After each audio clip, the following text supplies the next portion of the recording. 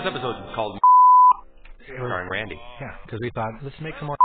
and uh, this episode would be as a, a cynic could maybe look at and go, you know, this is just like a one.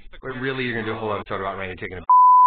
And you know what? I love this episode. I actually love this episode. I think this episode is sweet. I, and and it's a lot of we, we got a lot of negative feedback. We it was it was one of those uh, polarizing episodes. We got you know tons of bad feedback on it, and then tons of people going that was rad. And it just it's just basically there's there's certain episodes we do that like you're either on the train or you're off the train, and if you're off the train, it's gonna really you off, and there's just no getting back on it. And There's so- a certain moment in this episode. I'm trying to figure out when it is.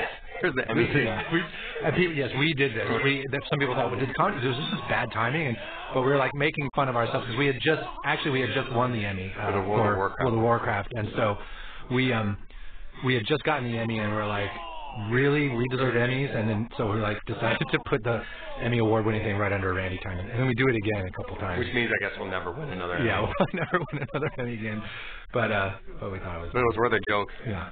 So, but I mean, Jokes are more important than Emmys. There is a certain moment. I don't know now. I think it's when you get maybe when he has it out and you have this little spray bottle. Yeah. That's probably the moment where in this episode you're like, okay, f- you, you're really gonna do this for a whole episode. I mean, there's that moment when you're gonna realize as viewing this that, and then that moment I think would probably about half the people would just yeah go, I'm not watching. it's also definitely like a lot of like the kids didn't get you know it's like we usually we don't read a lot of the internet feedback because it's usually people under the age of 13 but uh it's also the uh the, the thing you know they they all hated it and women hated it because it, you kind of got to be a grown man probably probably more than 30 before you really understand what it's like to be really proud of the giant you just took I've been proud. I don't know. I think I've been proud since college. my dad who you know this show's obviously is based Randy Marsh is based on is was super stoked on this episode. He thought it was the funniest thing he'd ever seen because he could just completely relate. So, um, but uh, and then there's obviously um, there's the you know plot wise emotionally.